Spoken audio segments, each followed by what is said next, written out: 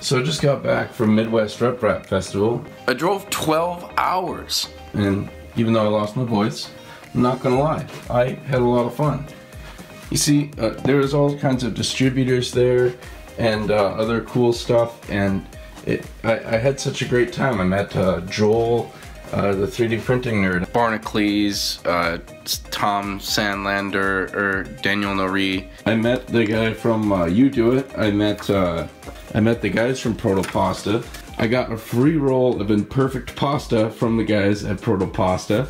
This imperfect pasta is pretty cool stuff. Uh, when they they're making filament, right? When they go from one color to another or one uh, one thing to another, uh, they just extrude what's left into the machine and put it on a roll and call it imperfect pasta.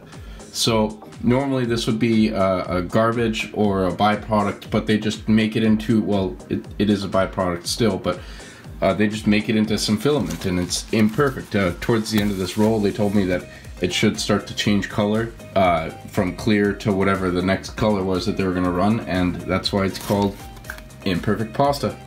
And then I printed this giant one layer thick gear with imperfect pasta while I was at Midwest RepRap Festival. And I got this really cool lanyard uh, with my information on it. And check this out, the guys from Olsson Ruby Nozzle uh, gave me this uh, nozzle torque wrench. So this is, uh, well, a torque wrench. It'll, uh, it can loosen up your nozzle. You know, you could apply as much force in that direction as you want, but when it gets tight, it'll stop you from tightening it too far, which is really cool.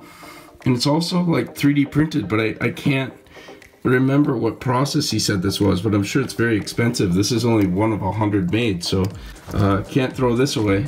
So I don't remember if I mentioned that I also met uh, the team behind MatterHackers, which was really, really cool to meet them uh, because they sponsored me with the NylonX for that winch gearbox and that project I did a while back. Oh, you know what else is really, really awesome is when you go to an event like that and uh, nobody knows what you look like. I don't know if that was awesome, but I'm sitting behind the table and people come up to me and they go, are you the guy? And uh, all of a sudden it feels like I'm part of a drug deal. Uh, so I figured I'd show you guys what I look like. Here it is. Uh, so next time you can come up to me and shake my hand and whatnot. But uh, yeah, it was always pretty entertaining when they'd come up to me and go, "Are you the guy?" Uh, but I, I, met a lot of fans. I met a lot of people that were like so excited to meet me, and that was surprising to me. I, I still wow. Uh, anyways, I'd like to thank everybody who came out and met me and came to the event in general. It was a really fun time, and I hope you guys enjoyed it too. And now I gotta clean up stuff. Ugh. I literally have just found the most interesting way to get stuff done. Is to do work and make a video at the exact same time. So I'm like putting stuff away and talking to you guys. This is the 18 octillion to 1 gearbox that will be coming soon to your computer viewing pleasure. Someday soon. God, I don't feel very good. It's like I took too much NyQuil. Oh, I got stickers. Midwest Rep Rap Festival. You guys ready to see this nice sticker be put on tempered glass panel of my computer? Oh yeah. Look what came in the mail when I was gone. Tevo Tarantula. So, for the rest of this video, I'm gonna show some clips that I recorded at Midwest RepRap Festival, but they didn't come out very well, so don't get your expectations too high. I also took a time-lapse clip of everybody uh, coming in and setting up for the event, um, but that camera actually died before everyone finished setting up, so another unfortunate reality to the filming business. Uh, so yeah,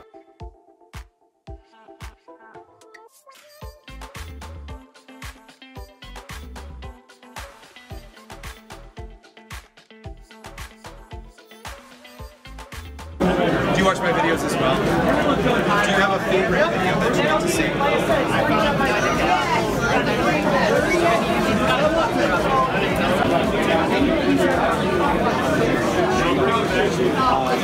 Need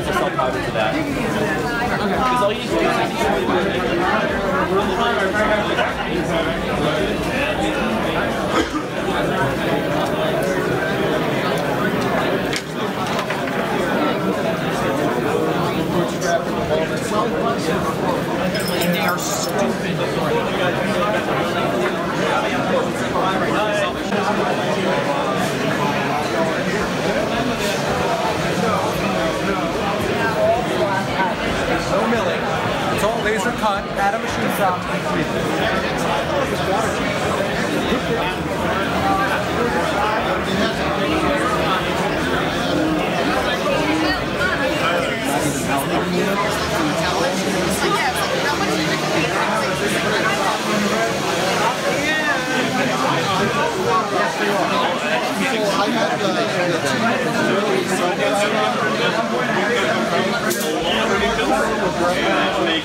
right torque and everything. It's, we're still like finalizing the, the parameters. This is the Murph edition. So if you look at the side, oh, look at that. It's the Murph edition. It's only going to be available here. To give some away here. Yes. Oh, do it. Oh, look at that. Take pictures. I was like,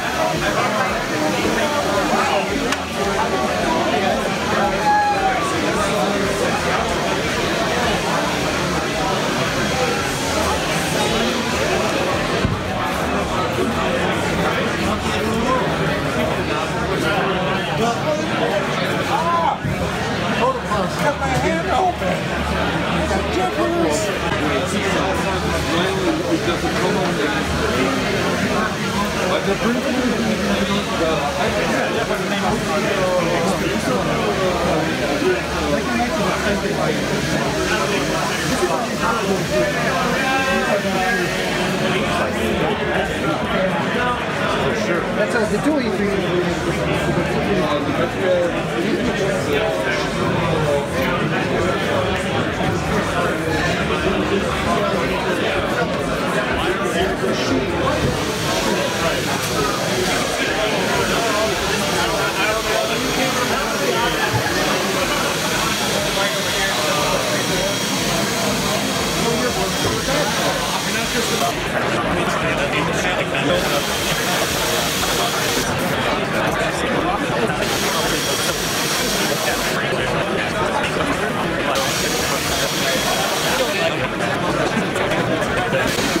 It's a 3D printer. The whole thing. There's no way that thing has a heated bed, does it? has heated in the center. What? I put a pad in the center thinking it might just heat enough. So No. just leave it. It's just acrylic for now. We're Okay. gonna put some side zones on it. And we will. Okay. So I just left it. Yeah, I mean, if that was a heated bed, you'd basically just have a unit heat. yeah, pretty much about two, probably about 15, 1800 watts that thing. I don't suppose you could do ABS on this thing. Oh, you can. Just won't stick with it. Okay. Okay. No, no, it's, it's just the acrylic works so well for now. It's just it's something. It's just a fun part. So this isn't this isn't homemade. This is branded. Yeah, we, we're gCreate. We make uh, we make Gmax 3D printers. Okay. So they're about this big. I don't know if you've ever seen it, but they're about this big. Okay. And so one Friday I said, well, we make parts, so let's just make a bigger for, for the heck of it. So let's make it bigger. So this is like a limo size tube. Pretty much, yeah. A home, a, a shop home built limo size Gmax. Okay. Just chainmail. I made it one uh, a couple months ago or something. This is printed place. then. Yeah, print in place. This is really cool stuff. First time ever using the MatterHackers build PLA, so I think the temps are low, which is why the squares are kind of peeling off the bottom.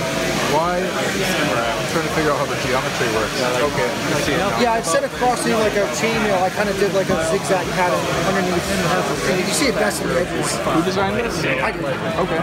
I was just surprised they did stuff. So. Yeah, this is really cool. That's cool. What would you use this for? You have any I don't even know. You know, I, I was initially going to make a skirt, so I was going to for, for what is this? To make a cool skirt, but you know, which we could have done. But I don't really know something like this. Where can it lead? Really? I mean, there's a lot of places. I, I'm not really even sure yet, I. but it is fun. The, uh, the fashion podcast. yeah, yeah. Especially if you can uh, connect them with it. Yeah, yeah, that would be really cool to find a way to do that. Yeah. Or if you could find a way to print it in a way where you could just hang it off the side of the bed. Yeah, yeah. With this, you'd have trouble. You wouldn't be able to do it. It had to have some sort of joint.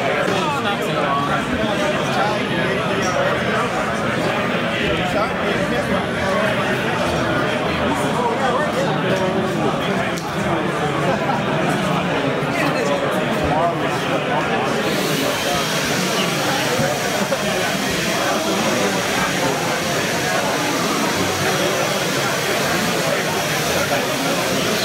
already figured this was printed on Part Daddy. It's massive. Look at the layer lines on this thing.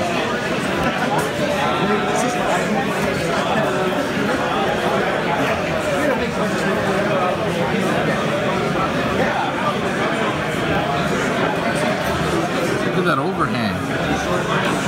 Wow night. Pretty good.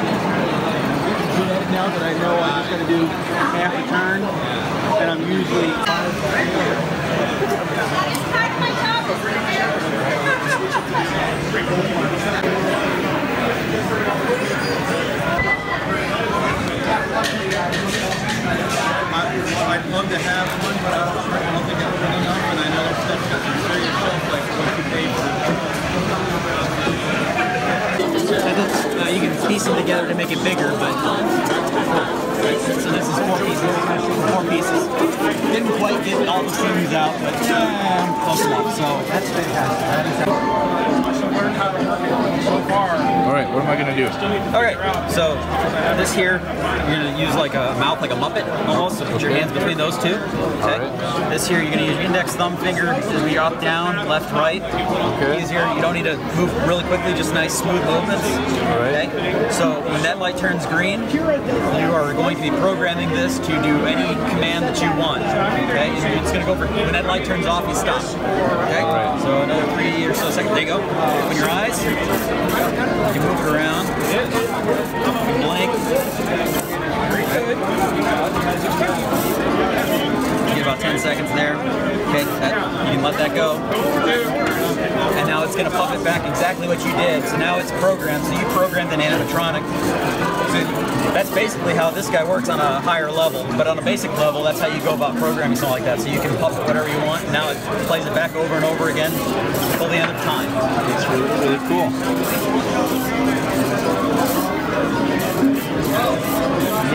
So anyways guys, I'd like to say thank you all for watching. If you're ever wondering what I'm up to, uh, don't forget you can always follow me on Twitter or uh, become a patron. I always post updates to what I'm doing and what kind of projects I'm working on.